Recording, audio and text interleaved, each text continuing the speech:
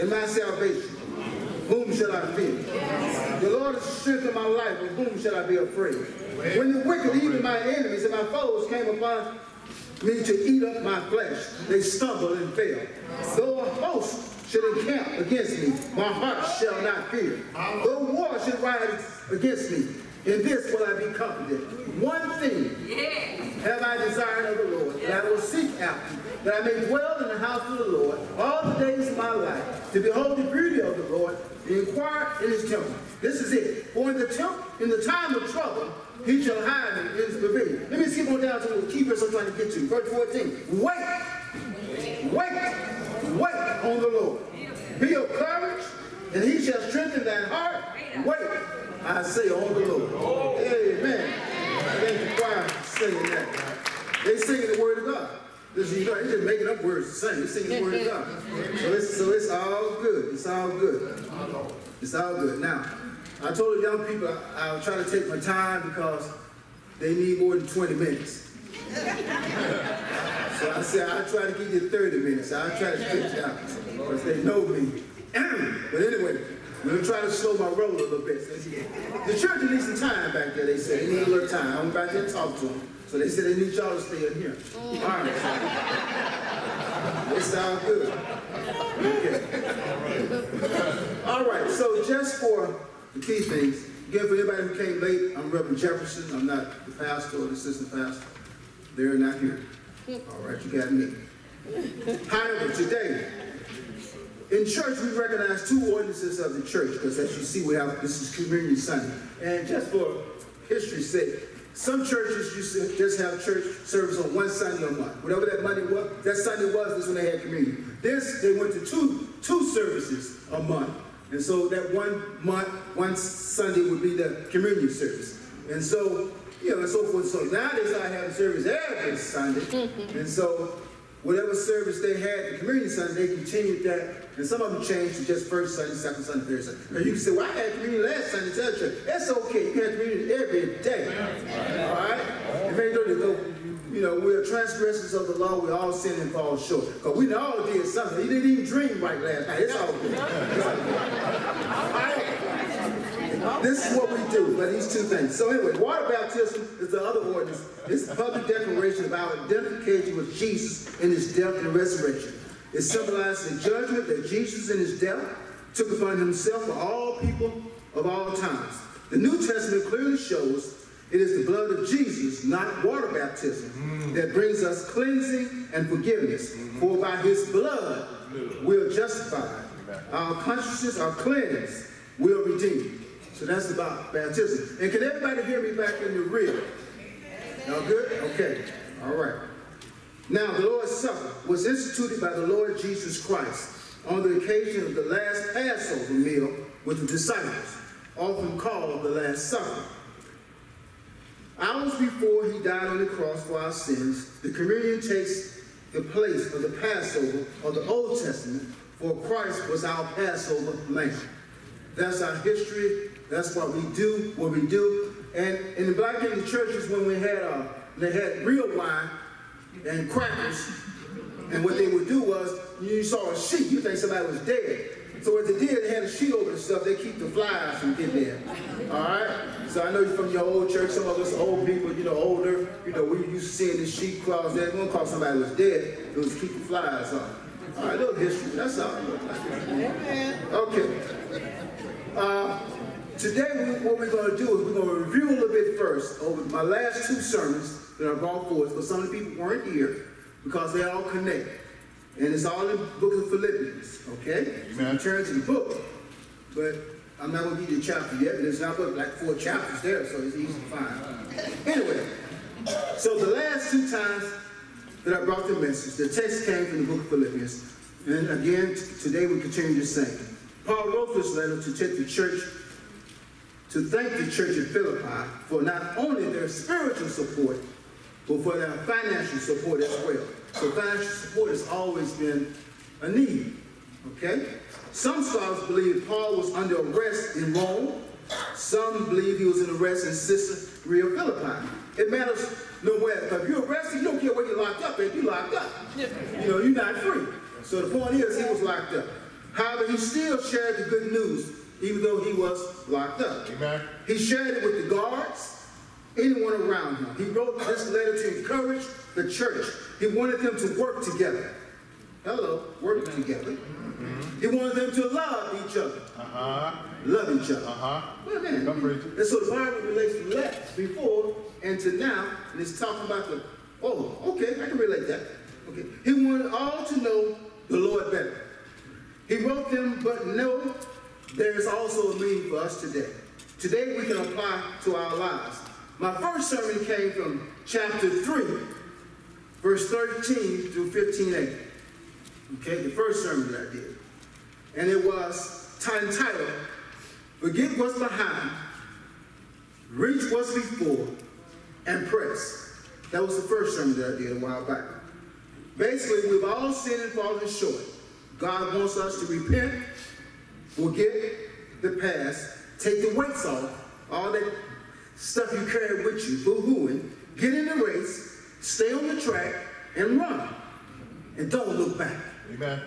We must run knowing it's not always the fastest person who wins the race. Because in this race, it makes no difference whether you come in first or last. You just need to finish the race. The goal is to cross the finish line. Finally, we must press at the finish line, not looking to our left or to our right. We must keep our eyes focused on the mark, and the mark is Jesus. Let me see. Let me go back a little bit. When I concluded that message, it's read like this. This is my conclusion. We've already wasted enough time this year.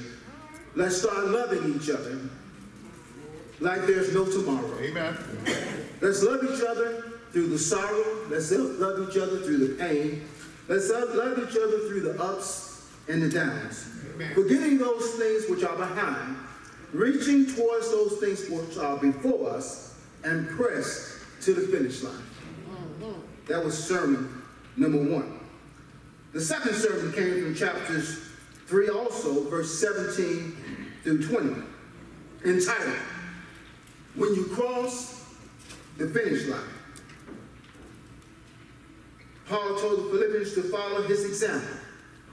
He said, Follow me as I follow Christ. Amen. Do you know anyone that might imitate Christ on Sunday, but favor the world all the other days? Mm. I, am just saying. Do they pretend to be what their surrounding is? There's an animal called the chameleon, a lizard type creature. It's described as a quick change artist. It alters its shade of skin into the environment it's in. In other words, if the environment is brown, it's brown. If it's green, it's green. If it's red, it's red. Whatever the environment is, that lizard or chameleon changes its shape to or its color to. Some people change their personality depending on who they are with and where they are. Wow. A person could be a party animal one moment, then they look down on the party lifestyle of others. Mm-hmm. Paul reminded them not to follow the imitators. For when they cross the finish line in here, you have been disqualified. Depart from me. I never knew you. That would be a sad day. Today, Paul is reminding the Philippians that while they are in the flesh and running the race, there are sometimes some things we should do while running. This race called life, trying to finish the course. Oh, let me go to the conclusion of that second. The conclusion of that other one was this. I said, when you cross that finish line, and you want to hear, well done, thou good and faithful servant. Thou hast been faithful over a few things. I will make thee ruler over many things. Enter thou into the joy of the Lord. That's if you cross the finish line doing right. Otherwise, you will hear, I never knew you. Depart from me, ye that work iniquity. But today, today's title is You Better Think on These Things. Mm. And again, keep you seat. Yeah, yeah. Paul is closing out on this matter, on this letter, and he, he's recapping all the things he's putting in a nutshell on what we should think about now. He's saying, you run the race, this is what you do, you can finish your course. However, he says in verse 8, finally, brethren, whatsoever things are true, whatsoever things are honest, whatsoever things are just, whatsoever things are pure, whatsoever things are lovely, whatsoever things are of good report, if there be any virtue, and if there be any praise, think on these things. Those things which ye have both learned and received, and heard and seen me in me do. And the God of peace shall be with you. In other words, do. He gonna be with you. May the Lord God bless the reading, the hearing, and the practical application Amen. of his word. Amen. You better think on these things. It's the message today. You had better think on these things. Paul tells the church we're to keep our minds focused. Point number one. You need to keep your minds on the things that are true, honest, just, pure, loving, and of good report. Now, in case you're confused, you should not think on the following things. Think about this. Take a moment and just think back. Don't go back too far, though. Have you ever said, what was I thinking when I did blank? You fill in the blank. What was I thinking when I married him? I mean her. Uh, what was I thinking when I dated him? What was I thinking when I wore that? What was I thinking when I went there? What was... You wasn't thinking. Anyway, we weren't thinking. I'm gonna keep this on us. Well, the answer is we, we were not thinking. We were not thinking positively. You know, we were in the world. So we were thinking as the world thinks. And just claim it. What we do here, the word is for the children of God. Those who have accepted Christ as personal Savior, and we believe this, so you believe this word, so the word is, is truth. If you haven't accepted Jesus Christ as personal it, it might be cutting you a little bit, you know, but it's okay, because it cut us too, and it's still cutting. It's still cutting. Amen. You know, the, the point of it is, is that we're born in darkness, and then we won't find the light. The light is the word of God. Amen. We were born upside down. But the word of God is supposed to turn us right side up. So if it's hitting you, just say ouch and move on. Because it hits me first. Because I'm the one that had to go and study and say, oh Lord, yeah, you're right. Mm, what was I thinking? what, what, what, uh, what, mm, mm, mm, I should have been doing that. But anyway, so what, what, what was is that I was thinking of things that were untrue, fabricated, concocted stuff. I, I was dishonest, behaving in an untrustworthy way, unjust, I, I, unfair, one-sided, bigoted way. I'm looking at it my way. Immoral, morally wrong, just doing the wrong thing, hanging with the wrong crowd, going with the with the group. Nasty, wicked, all kinds of things. You know, you got your stuff, I got my stuff. I can't tell you, but you got yours. You know what I'm saying? We all got our stuff. We did. And you call it nice if you want to, but God says it's nasty, wicked. If it was unlovely, it was nasty and wicked. A bad report. In other words, you had bad character. You didn't have a good reputation. You want to be not known by the names your parents gave you. You want to be known by, well, my group was sly, slick, and wicked. Yeah, my partners. Up to no good. You know, I, well, I- at least I had a chance because my name is Sylvester. So you know, that's what the side.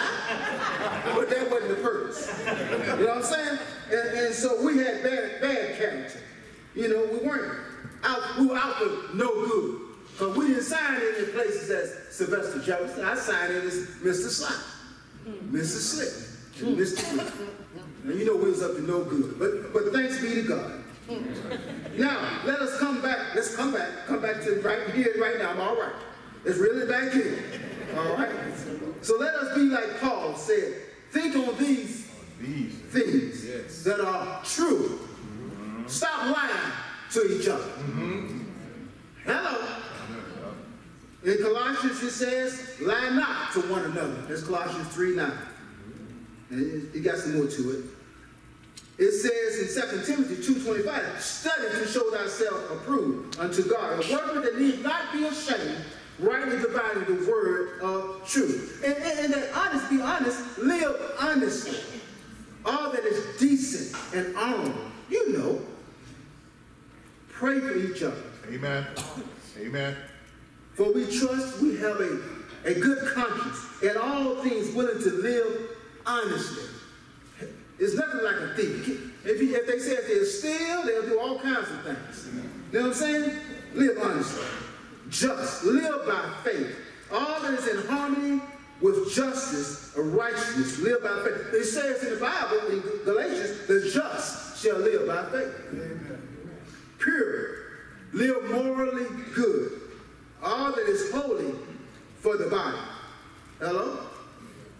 Matthew 5 8 says, Blessed are the pure in heart, for they shall see God. Live lovingly. Live pleasing, agreeable, as a blessing to others. Love is kind. Love is patient. Love is not puffed up. I got mine, you got to get yours. Help a brother out. So, love. And that love they talk about is that, like Philadelphia love, the Phileo love, love one for another. Have a good report, not an evil report. Like kids get a report card. I mean, if God had to do a report card on you, would it be a good report? Report, but good, in harmony, with the best public good. If there be any virtue, virtue is moral goodness. If there be any praise, whatever is praiseworthy. Well, when praises go up, they say, what comes down? Blessings, Blessings come down. So be praiseworthy. Think on these things, that we may both practice them ourselves and recommend them to others. It says, practice them and recommend them to others. Paul wants them to remember, point number two, remember your training. Why go to school if it don't apply your learning? I'm pretty sure. I mean, you go to school, you send your kids to school, your kids come home, and you say, well, well son, here's the, uh, here, here's what, how much money I made. And figure out, uh, we're going to spend this much for your school, and forget this, how much money we got left. And, oh, wait a minute. What you learned in school? I mean, you got to apply what you learn. And that's what we forget our training sometimes. You know? Remember your training. Those things which you have both learned, learn means you learn it and you practice it. Those things you have received, that means blessings. You receive blessings for God. Those things you've heard, those are doctrines. And the things you've seen by example. Not monkey see, monkey do, because you might be seeing the wrong thing. But things, the good examples that we've seen. We must do the things we have learned, received, heard, and saw by example. God then will be with us, or if not, God will reject us. We must teach, preach, and set the example. Where? To our co-workers, because they're watching us. To our neighbors, because they see us. To our families, Amen. because they know us. Amen. Hello. Amen. You know, you can convince your family you might get somewhere, but it starts at home. People hear what we say, but they watch What you do. what we do. Yeah, yeah. I'm gonna say that one again. People hear what we say, but they watch what we do. Yeah, I, you say you heard about a store, brother. I'm gonna come over there and, and see you. I got a, a package for you. Have you seen them? No, man, I ain't seen them. They said they were coming. Yeah. Okay, meet me at the church at eight. We, we all, all the fellas need to meet, meet up over there at eight o'clock. Have you seen them yet? It's, it's nine o'clock. No, brother. Hello. So let us all do better. Let's lead by example. No excuses. God asks us to just do it. Way before Nike did. Nike said, just do it, we want to do it. God said, just do it. No matter your situation, stay focused on God's word. Stay motivated on God's word. Keep moving on God's word as we run this race called life. Paul says God will bless them if they do the, these things. Learn, receive, heard from him, and by his example. Transition is this. Do you want the wrath or the peace of God in your life? Point number three. I want the peace in the midst of the war, because there's always a war going on. I want the I want peace in the midst of the war. And then verse 9b, part B. And the God of peace shall be with you. If you want peace from God, we must think true thoughts, honest, just, pure, loving, and of good report. And if we truly want peace, we must remember the things we have learned, received, heard, and saw by example. If we truly want peace, then God of peace shall be with us. If we truly want peace. However, some of you sure remember this. Aretha Franklin had a song entitled, You Better Think. Mm-hmm. You better think what you're trying to do to me. One key verse in the song says this. I ain't no psychiatrist. I ain't no doctor with degrees. But it don't take much IQ to see what you're doing to me. Now, what was he, or he, what somebody was doing to a Aretha? Well, I think it was sin. Well, no, I know it's sin. Think what you're doing to me. Then you, I say, is sin. What is sin doing to me? What is sin doing to you? We should be able to say, no, I'm not a psychiatrist, nor am I a doctor, but I hold a PhD. I'm past having doubts about the Word of God. We should all hold a PhD. I know I have the victory. I have the victory in Jesus. We better think. We better think. We better think what we want to hear when we cross that finish line called life. Welcome home, my good and faithful servant, or depart from me. I never knew you. Make your election sure today. You know, storms come and storms go. Last week, Hurricane Dorian was on the minds of many, as Katrina was before, and many other storms. And if, if you know, a storm when it hits hard, category four, five, when they hit real hard, there'll never be a Katrina again, because they, they don't rename it. There'll never be a, a Dorian again, but there will be another storm. They'll just name it something else. And if you know a little history, all the storms in the past were named after women. I wonder why. They said women was tearing up stuff. And then the women protested. And so they named storms after men and women, equal opportunity. So men, you up stuff too, they were trying to say. That's all. I just want to let you know that little history. That's all. Women just don't up stuff. you know? So they corrected that. Okay, it was terrible knowing that you have no ability to do anything. If been in a storm, that you can't stop the storm.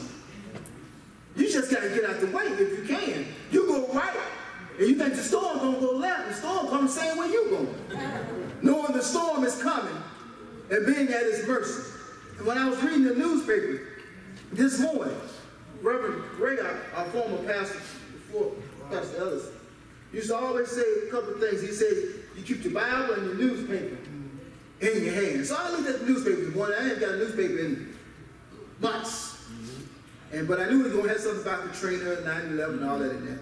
And so, so this one lady in Bahamas, well, you know, she had seen these storms come and go before, so she wasn't leaving. She said, oh no, this, this rich man tried to get, they knew her, they had met her before, you know, said, hey, I can fly a plane there to get you, get your whole family out. Oh no, we good.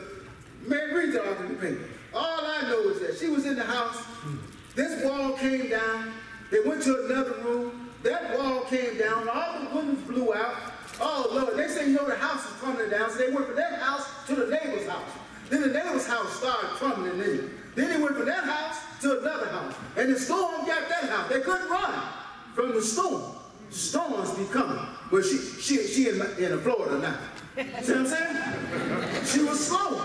But, but, but she in Florida now. Lord, that storm will run you away, run you from home. Even though you know the storm is coming. And being at this mercy, maybe emotionally, not prepared, but just holding on. I can imagine a lady just holding on. Then afterwards, the outpouring of support to victims, but know that they will only last for a little while. People only help for a little while, then they move on to the next case. Just like, remember 9-11. Most of us uh, adults can remember where we were in 9-11. You know, and some people don't remember nothing about 9-11. That's okay. But America felt kind of united after that for a little while. People filled the churches for a little while. Oh, everybody was praying for the nation for a little while. But only, only, only for a little while.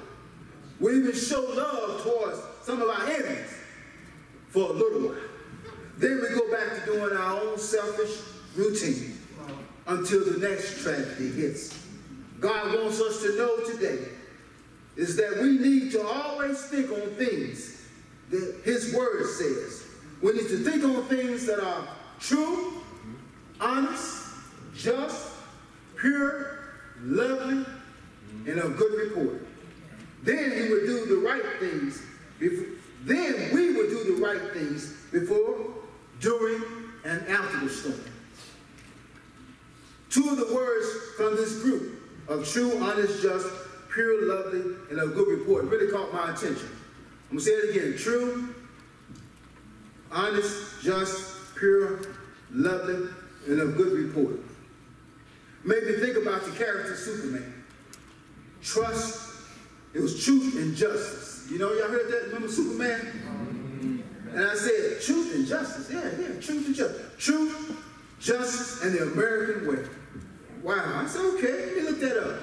So Superman is depicted as having amazing powers, super strength, super speed, x-ray vision, and he flies. He's faster than a speedy bullet, more powerful than a locomotive. He's able to leap tall buildings in a single bound. Mm. And when they look up to the sky and they say, look, it's a bird, it's a plane. Ah, it's Super Chicken. No, it's Superman. It's Superman. But he has one weakness, and what is that? Yeah, y'all, y'all, y'all heard it. It's kryptonite. It made him weak at the knees.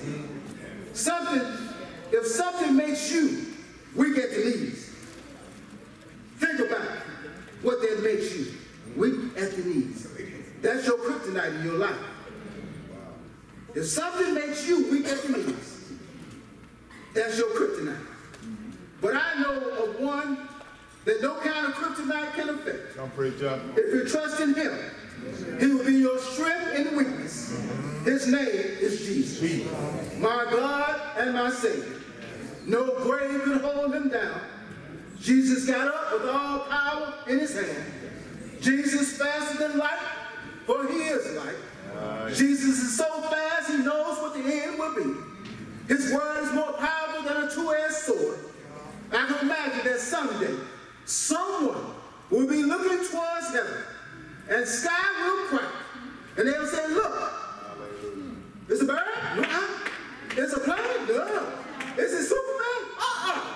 Uh, but the Son of Man, but the Son of God coming down from heaven, my Lord, my God, the Prince of Peace, the Rose of Sharon, the Lily of the Valley, the bright and morning star, Jesus, oh Jesus, when Jesus speaks, if you want to hear God and faithfully be a faithful servant, you must live like the word says.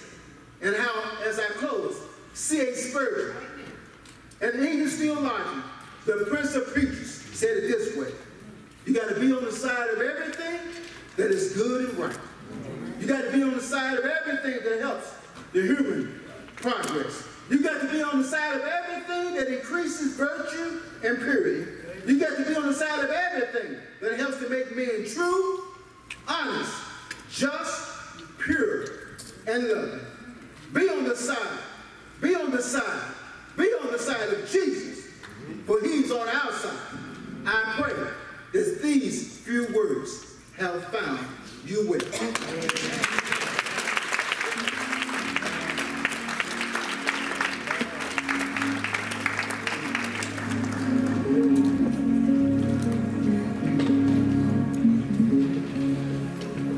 At this time, as I said before, we have, we'll have an open communion here. So if you don't belong here, take communion. You're a baptized believer of Jesus Christ. You accepted him as your personal Savior. You too can take of our communion today.